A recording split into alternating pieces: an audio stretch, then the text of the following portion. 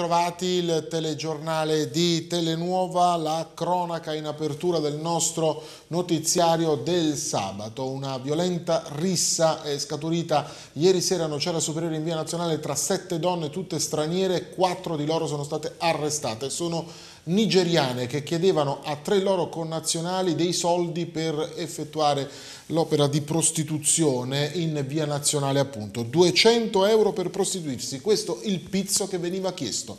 I dettagli nel nostro servizio.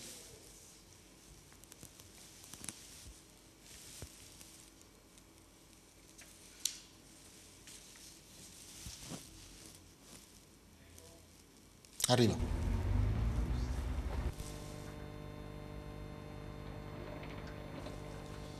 Pizzo per prostituirsi, quattro nigeriane in manette. Blitz antiprostituzione la notte scorsa a Nocera Superiore, l'intervento dei carabinieri della locale stazione che hanno operato congiuntamente ai militari della tenenza di Cava dei Tirreni e quelli della sezione radiomobile di Nocera Inferiore.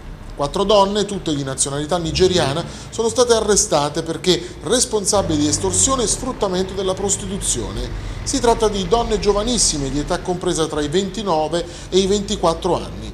Il fatto, in via nazionale a Nocera Superiore i carabinieri sono intervenuti dopo una segnalazione di una rissa in atto tra varie donne, sette in totale, tutte di nazionalità straniera.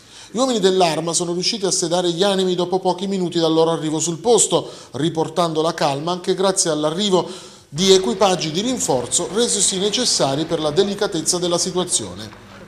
L'attività investigativa, tempestivamente avviata, ha fatto sì che i carabinieri potessero accertare il motivo della lite tra le sette. In particolare, quattro di loro picchiavano le altre tre perché queste ultime si erano rifiutate di consegnare la somma di 200 euro che ognuno avrebbe dovuto pagare per esercitare il meretrice in quella specifica zona di Nocera Superiore. Quindi una sorta di pizzo per prostituirsi, il tutto scoperto con l'episodio dei carabinieri. Le quattro nigeriane sono state arrestate per estorsione e sfruttamento della prostituzione portate al carcere di Fuorni a Salerno su disposizione della Procura della Repubblica di Nocera Inferiore.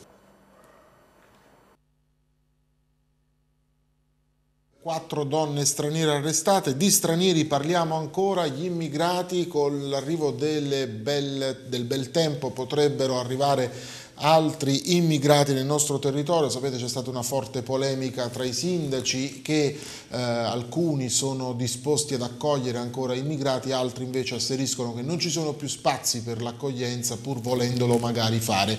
Le disposizioni della prefettura sono chiare, precise, intanto c'è un ehm, commissario, il commissario straordinario del comune di Castel San Giorgio che invece si dice pronto nel caso all'accoglienza. Vediamo.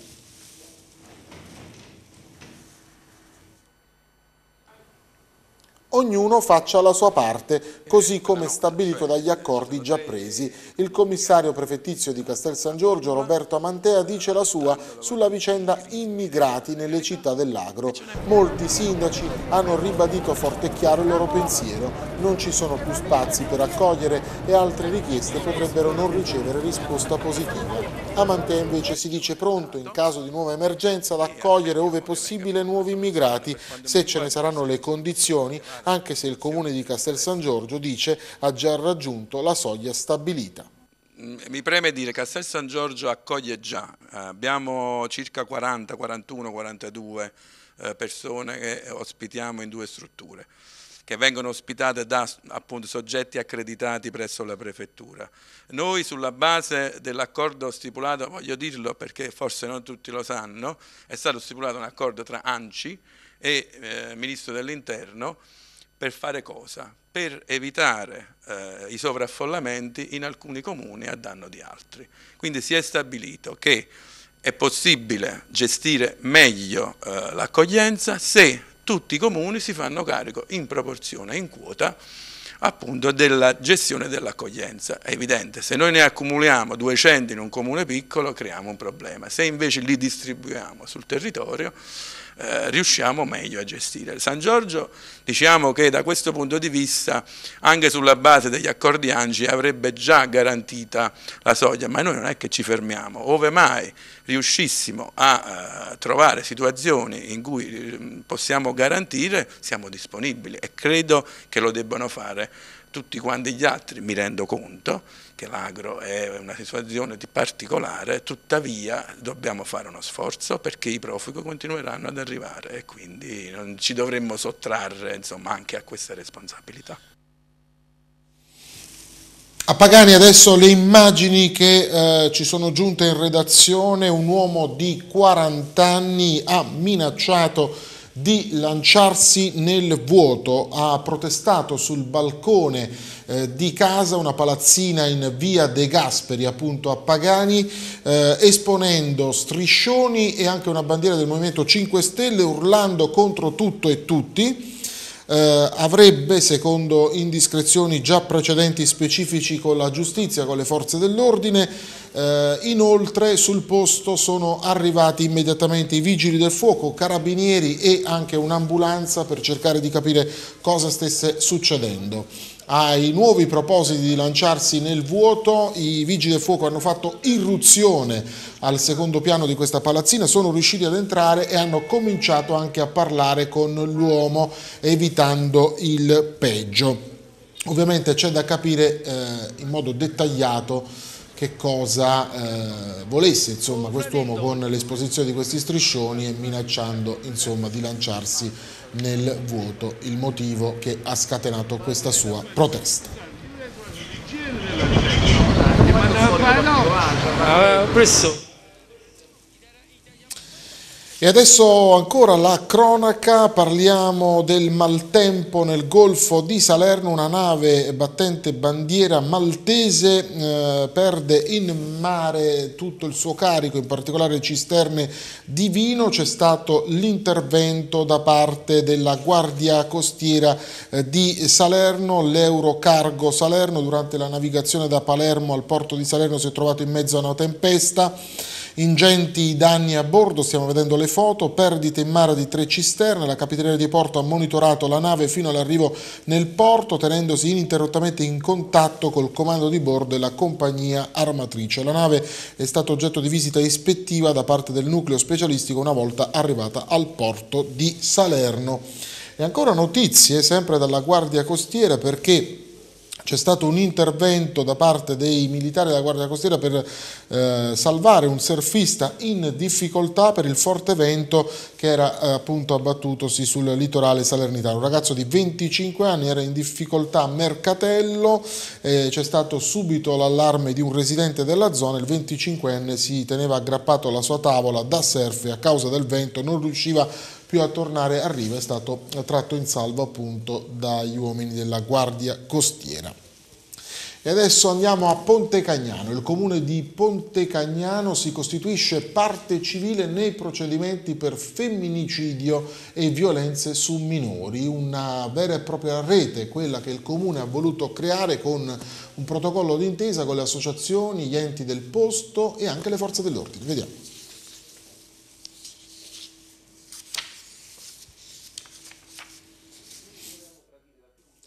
Un progetto, una grande rete che comprenda amministrazione comunale, enti, associazioni e forze dell'ordine per dire no alla violenza. Il comune di Ponte Cagnano ha deciso di agire, di mettere in pratica azioni reali e non lasciare alle parole il pur importante apporto verso chi subisce soprusi e maltrattamenti.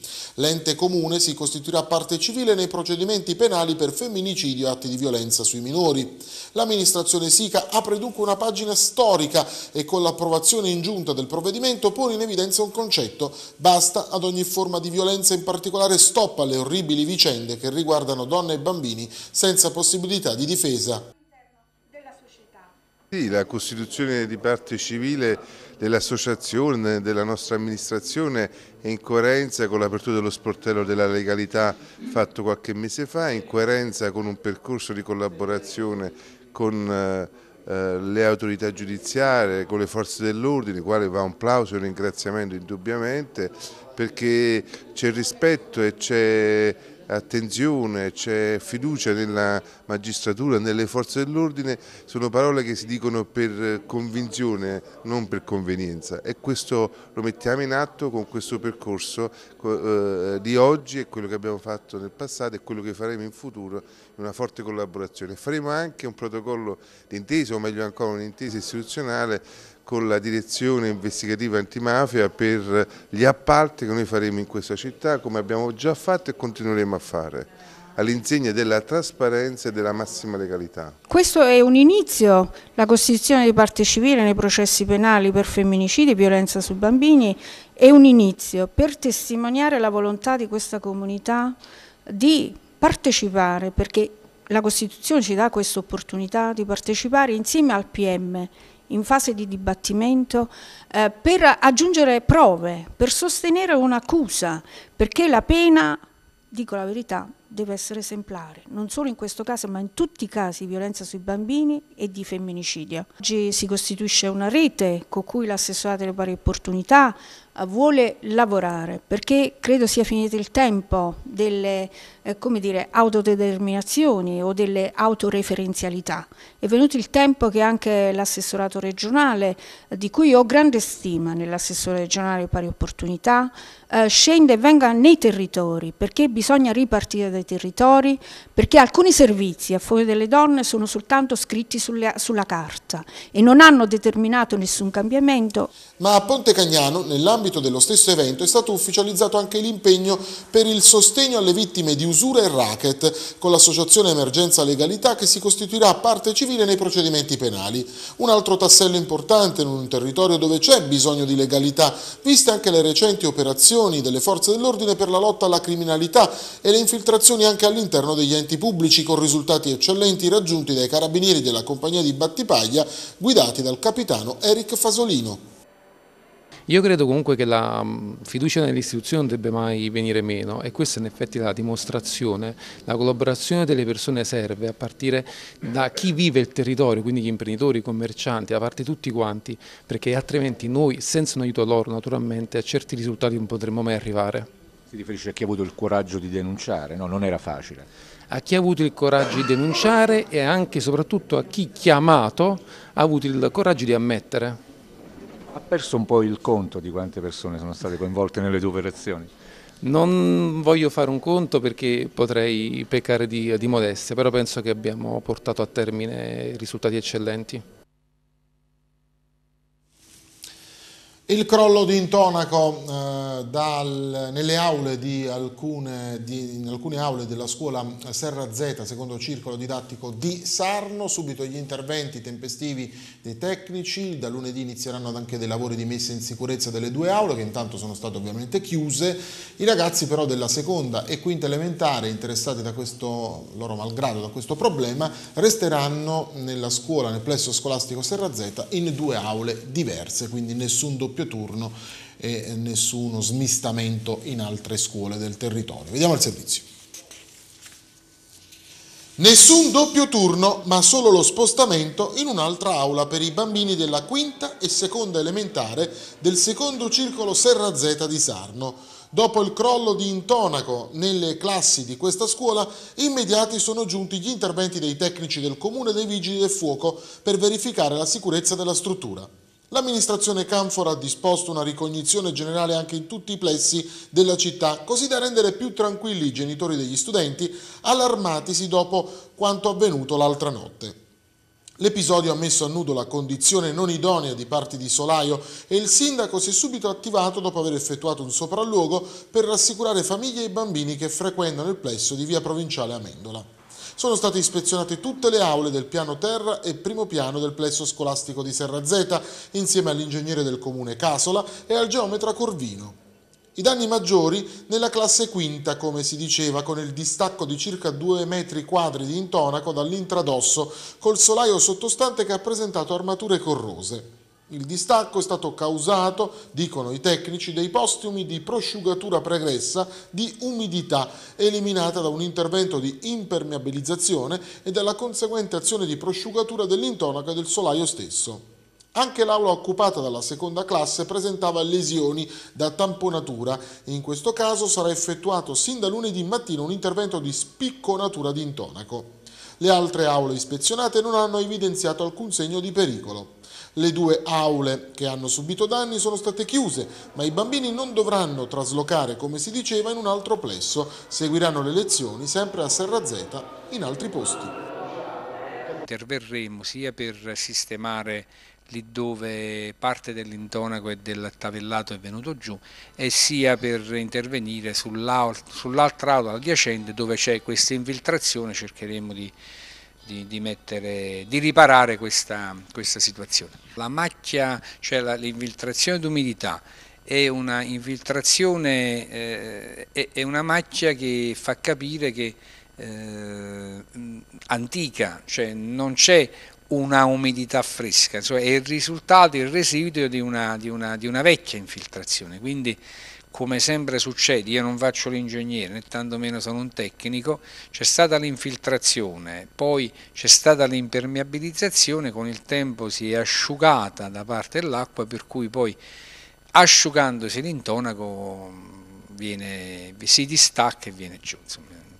Presumibilmente, presumibilmente, questo è successo, quindi, quindi, va risistemata, va sistemata insomma, la, zona, la zona che è stata soggetta a questo distacco. La fortuna ha voluto che accadesse di notte.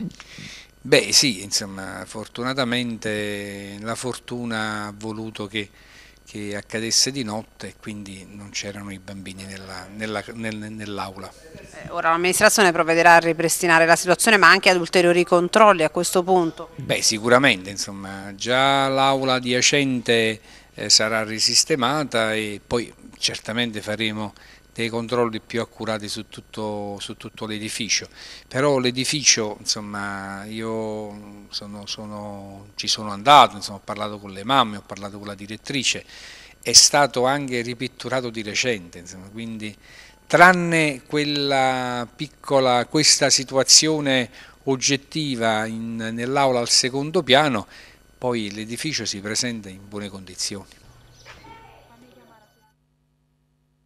Non potevano però mancare le polemiche, Forza Italia e eh, i componenti dell'opposizione dell'amministrazione di eh, Sarno in una nota scrivono vogliamo vederci chiaro sul crollo del soffitto della scuola di Serra Z, non va messa a rischio la vita dei nostri figli, eh, solo per miracolo si è sfiorata la tragedia, come è possibile quanto è successo in capo a chi è la responsabilità del controllo dell'operato delle ditte che lavorano e che eseguono i lavori si legge nella nota. A nostro avviso le ditte che lavorano in questo modo devono essere messe da parte, non possono partecipare a gare d'appalto. Vogliamo che chi ha sbagliato debba ripagare il danno. Non possiamo accettare che la vita dei nostri figli sia in mano a degli incapaci. Sempre nelle scuole c'è la notizia di ladri che tornano a colpire nei plessi scolastici della nostra provincia, furto da 20.000 euro nell'istituto Profagri, costretto ancora a fare i conti con una eh, di ladri appunto nella, eh, proprio, nel proprio plesso, nel proprio istituto. Sono entrati nella notte della sede di via Cal delle Calabria a Salerno, messi a soqquadro uffici amministrativi e presidenza da parte di alcuni ignoti che hanno rubato computer ed altri oggetti progetti. E adesso parliamo di ambiente, il treno verde di Lega Ambiente che è arrivato a Salerno, si è discusso anche tanto di tutte le situazioni legate all'ambiente perché questo treno verde fa insomma soprattutto da um, specchietto per quanto riguarda varie vicende sul tema ambientale, in particolare si è parlato di inquinamento acustico e di livelli di PM10. Vediamo.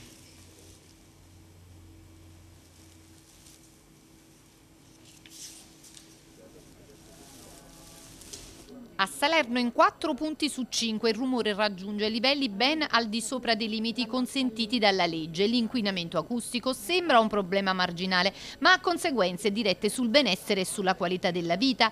Per questo Legambiente, attraverso la tappa salernitana di Treno Verde che si conclude oggi, ha chiesto all'amministrazione pubblica di mettere in campo azioni concrete per ridurre gli impatti ambientali al fine di migliorare la qualità della vita e della città a partire da una nuova idea di mobilità che privilegia il trasporto pubblico locale.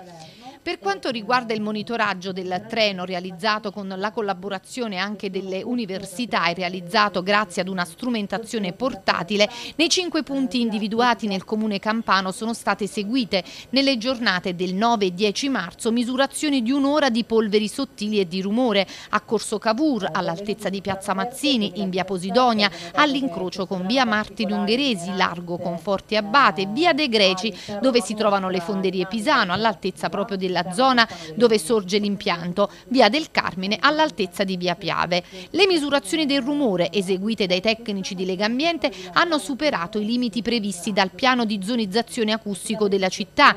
Diversamente accade invece per quanto riguarda la misurazione delle polveri sottili, ma come ha spiegato la rappresentante di Legambiente, i risultati sono forse stati influenzati dalla presenza del forte vento.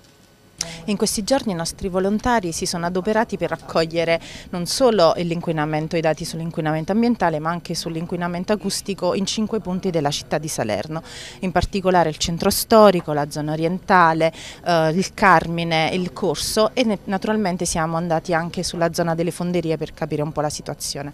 Bisogna però considerare le condizioni eccezionali de, del clima, il vento è stato molto forte e, e questo naturalmente ha come dire spostato le polveri. In realtà eh, queste polveri però le abbiamo comunque respirate o, co o, comunque le continueremo a respirare, per cui non è una situazione da farci stare serene. I limiti sono nella norma per quanto riguarda l'inquinamento ambientale, mentre quelli acustici su 5 punti 4 sono risultati al di sopra. Questo è un dato da non sottovalutare perché l'inquinamento acustico ha comunque incide sul nostro benessere anche psicologico e fisico. Um, da questo punto di vista noi come Lega Ambiente pensiamo che innanzitutto bisogna fare opere di prevenzione, bisogna attuare molte più domeniche ecologiche, attuare un sistema integrato di trasporto urbano e capire che insomma uh, non possiamo sempre fare affidamento al vento per respirare aria pulita. Quali sono i vostri rapporti con l'amministrazione comunale di Salerno? C'è collaborazione su questo fronte e anche su quelle che sono le proposte di Lega Ambiente? Noi continuamente proponiamo all'amministrazione delle, delle, nostre proposte alternative sostenibili e eh, cerchiamo di collaborare non solo con l'amministrazione ma con quanti si rendono eh, disponibili per attuarle. L'impegno prima di tutto.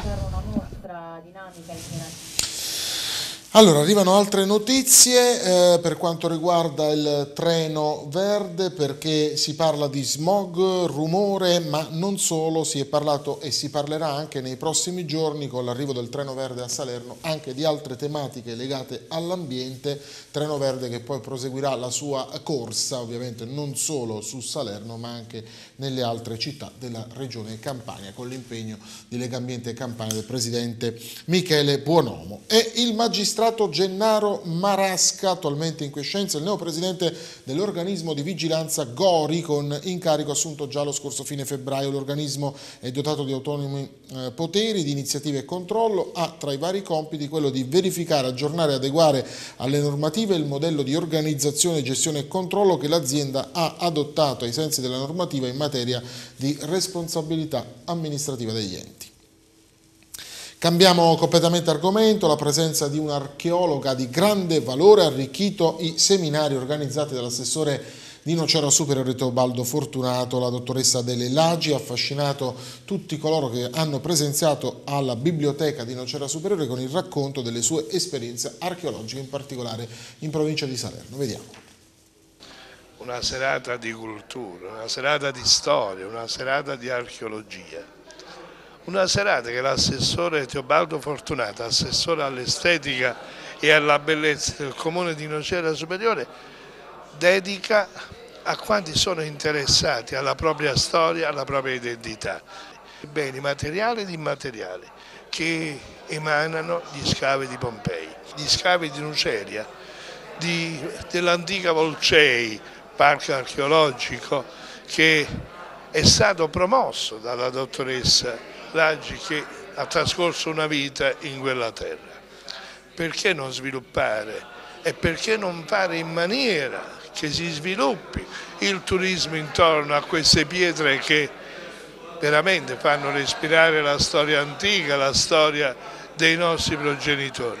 Ecco, il tentativo dell'assessore è proprio questo e sta imitando il fior fiore degli studiosi di storia antica e il fior fiore dell'archeologia nazionale. I valori immateriali di Pompei, cioè quei valori che eh, Pompei racchiude oltre le pietre, quello che racconta, quello che significa Pompei come città antica e perché a Pompei i valori immateriali e materiali che sono tutelati dall'UNESCO possono considerarsi un tutt'uno. Tutti gli anni della mia gioventù li ho dedicati a Buccino.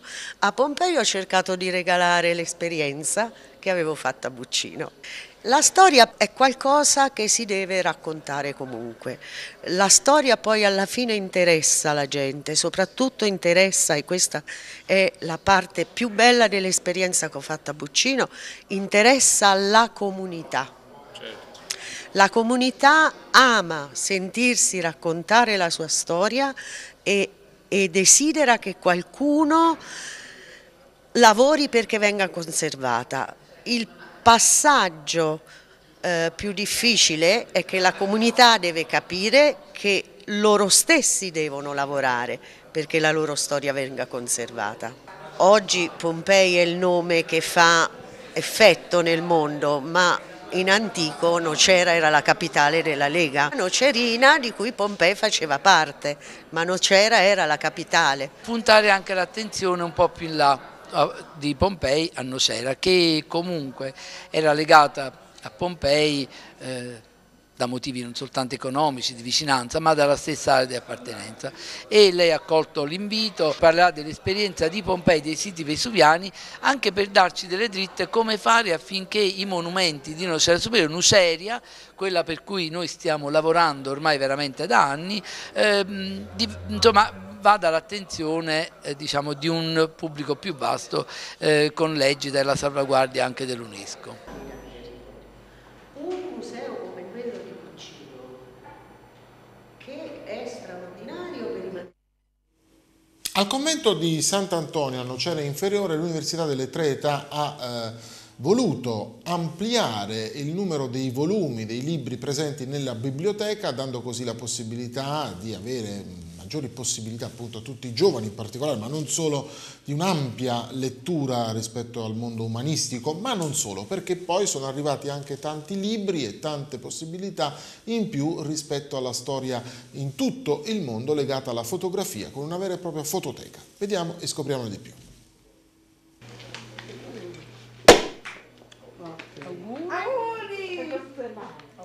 Tanti libri e una fototeca per ripercorrere anche la storia del nostro territorio, ma più in generale per fornire l'opportunità ai cittadini di poter trovare a portata di mano volumi che possano creare un centro culturale di interesse e letterario frequentato che possa ancor più svilupparsi col passare del tempo.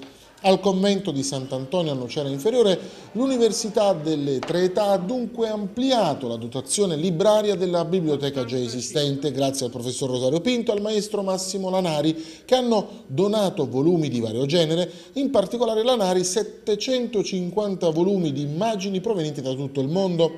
Questo ha fatto sì che ci sia uno spazio completamente nuovo e accattivante soprattutto per i giovani aperta a tutti quelli che hanno desiderio di approfondire eh, argomenti filosofici e, e, artistici come anche ad alunni e a, e, a persone che vogliono comunque eh, visionare da, praticamente da, da, da, una fotografia il mondo perché il dottor Lanari ci ha donato questi 800 volumi, circa 58.000 foto di tutto il mondo, lui ha girato il mondo il, per cui ha fotografato e ha donato questo enorme, diciamo, questo grandissimo eh, patrimonio eh, fotografico. E con questo patrimonio del dottor Lanari noi abbiamo arricchito eh, la biblioteca come una fototeca quindi oltre ad avere ehm, libri antichi eh, da 1600 e rotti abbiamo anche eh, questa, questo patrimonio. Grande profilo per la cultura nocerina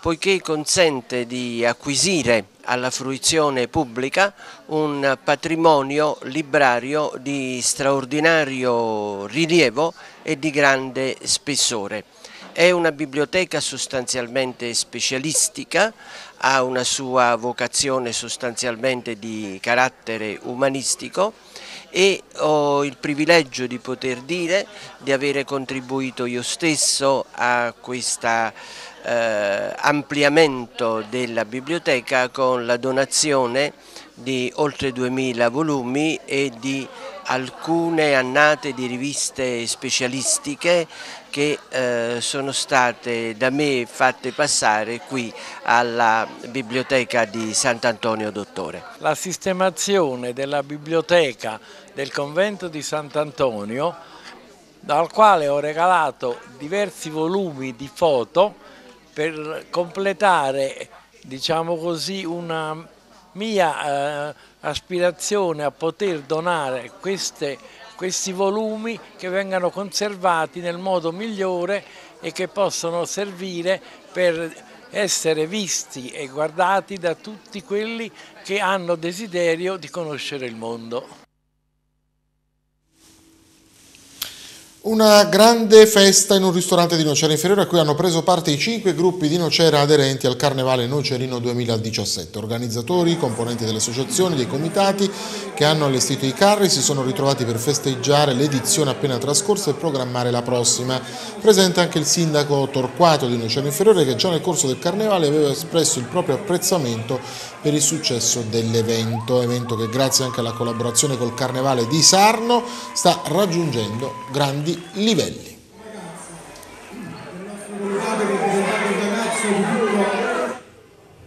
Tra poco ci vediamo per lo sport, eh, voglio anche ricordarvi, anticiparvi che non c'è la Serie D ma c'è una notizia importante che era attesa dai sostenitori della Nocerina, si gioca o non si gioca il 19 marzo con l'Ercolano? Si giocherà. A tra poco.